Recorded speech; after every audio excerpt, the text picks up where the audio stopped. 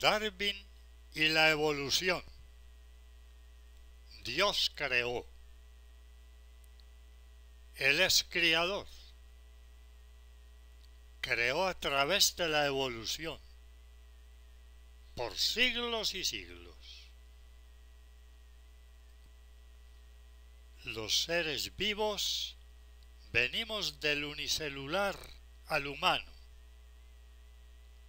millones de años de evolución. Algo admirable. Los organismos biológicos se agrupan en especies. Las especies que hoy pueblan la Tierra vienen de otras especies ya extinguidas. El proceso es más o menos así unicelulares, protozoarios, medusas, moluscos, peces, anfibios, lagartos, mamíferos, primates, homínidos y el hombre.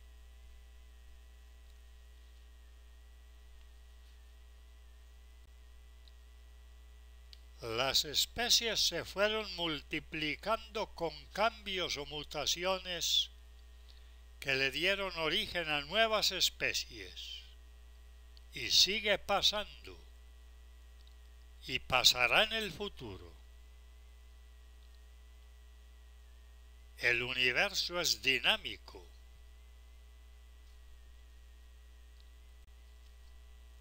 Dos organismos vivos por diferentes que sean, comparten en el pasado un antecesor común.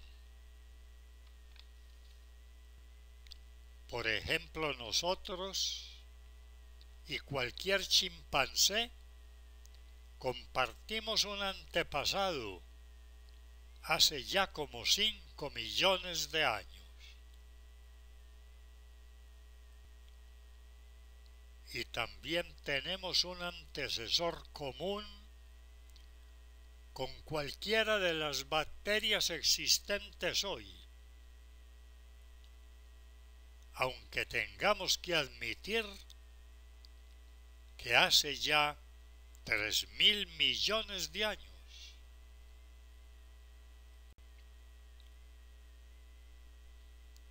Vamos a ver la cronología siete momentos principales de la evolución.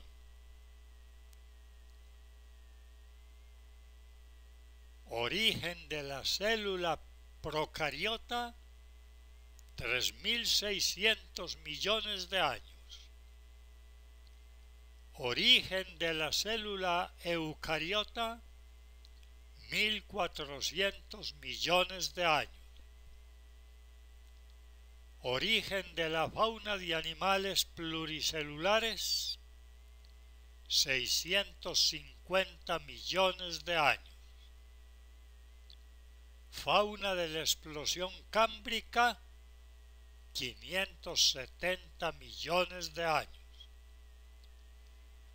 Origen de los vertebrados terrestres 360 millones de años. Aquí vino la extinción de los dinosaurios. Y la antorcha pasa de los dinosaurios a los mamíferos hace 65 millones de años. Y el origen del Homo sapiens es 0.1 millones de años. Oh misterio de la genética.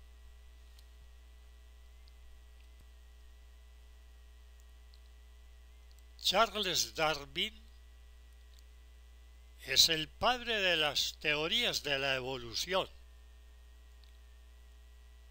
Escribió sabios libros que no debemos desconocer, como el origen de las especies y el origen del hombre hay que admirar estas cosas. respetarlas, quererlas y aceptarlas. A bordo del vapor Beagle recorrió Darwin los mares del mundo y en las islas Galápagos, en el Ecuador, encontró sorpresas admirables sobre la evolución animal. Él decía que la conquista de recursos para la vida origina una competencia llamada selección natural. Los seres vivos mejor dotados van saliendo adelante mediante la mutación, mientras los menos dotados desaparecen lentamente por especies. Hoy en día, con la construcción del mapa completo del genoma humano y la ciencia genética toda, comprendemos mejor los, los procesos de evolución de las especies. En esta gráfica vemos el cráneo del hombre a través de la evolución, del gorila al humano, pasando por el Homo australopithecus, por el Homo erectus, por el Homo sapiens, por un Homo sapiens posterior, por el Homo neandertalensis y, y llegamos al Homo sapiens moderno somos nosotros. Cráneos de homínidos a través de los siglos. Son fósiles. Veamos las diferencias. Unos conservan parecidos con los primates. Los últimos somos nosotros más fósiles de cráneos humanos.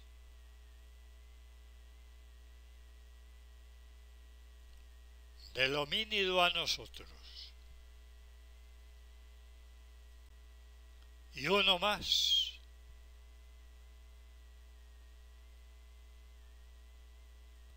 Ahora, reconozcamos nuestra familia que es extensa este es nuestro pariente el caimán. Y el hipopótamo. Bocota y colmillos. El elefante. Colmillos de marfil, nariz largota, grandes orejas. el rinoceronte, cornudo y fuerte. La jirafa pescuezona y grandota. Bella ave, nuestra prima. Nuestros tíos. y un primito.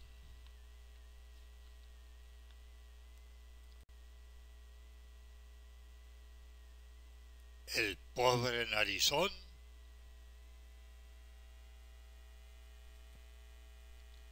la pava de monte, el vampiro atroz, el mono perezoso, el topo ciego, el oaxín,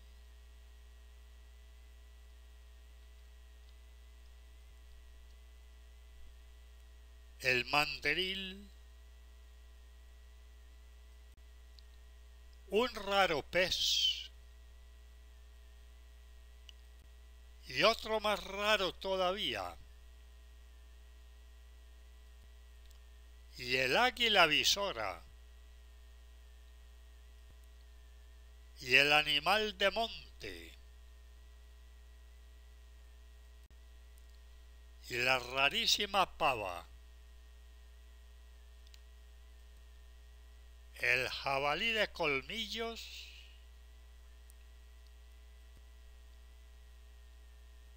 El lagarto. Y el pez.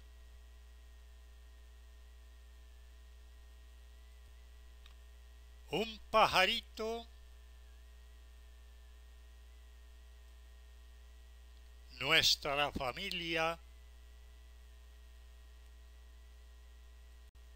y el hombre de hoy, evolucionado en su cerebro, piensa, concluye, crea, progresa. Debe salir adelante y cada día brillar más. Aquí está la evolución craneal del homínido, del Australopithecus hasta hoy.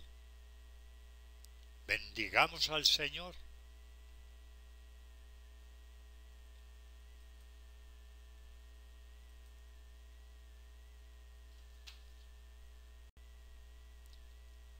¿Y esta evolución también se da? ¿Del hombre al marrano?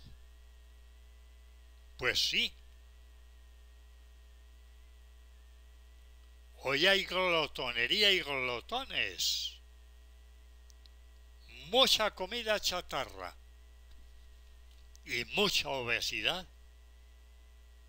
Vamos camino del cerdo.